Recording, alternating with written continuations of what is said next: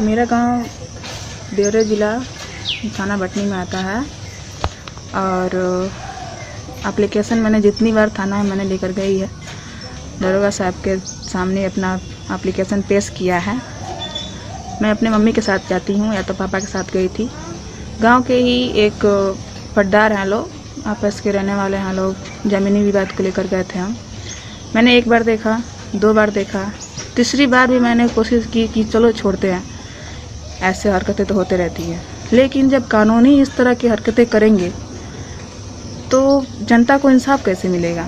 जनता अपनी बात को लेकर जा रही है और कानून अपने गंदे नज़र फैला रही है।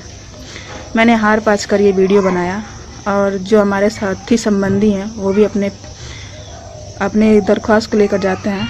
तो उन लोगों के साथ भी ऐसे हरकतें हो रहे थे। मैंने सुना भी, देखा भी, लेकिन मैंने कुछ बोला नहीं। मैं चाहती हूँ कि इंसाफ मिले।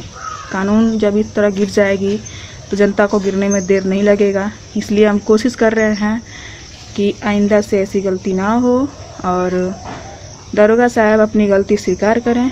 नहीं तो हम बहुत वो नहीं करेंगे, पेश भी नहीं, ज़बरदस्ती नहीं करेंगे, क्योंकि गलती उनकी है। मैंने अपनी दरख्वास्त लेकर गई और एक बार देखा, दो बार देखा, तीसरी बार सहन नहीं हुआ तो मैंने ये वीडियो बना लिया।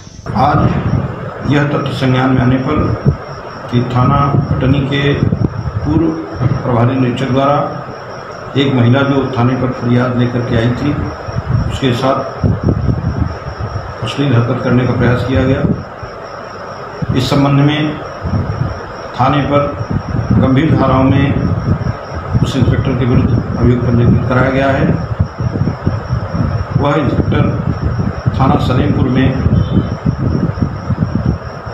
उसके बाद ट्रांसफ़र हुए थे और उन्हें निलंबित किया जा चुका है। अभियोग पंजीकृत करा करके आवश्यक कार्रवाई कराई जा रही है।